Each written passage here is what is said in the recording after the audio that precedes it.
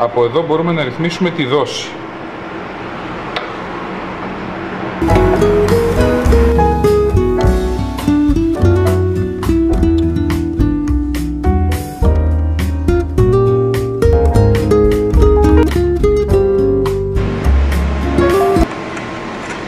Μεγαλώνοντας τη δόση, η κίνηση που κάνει το έμβολο είναι μεγαλύτερη. Μικραίνοντας τη δόση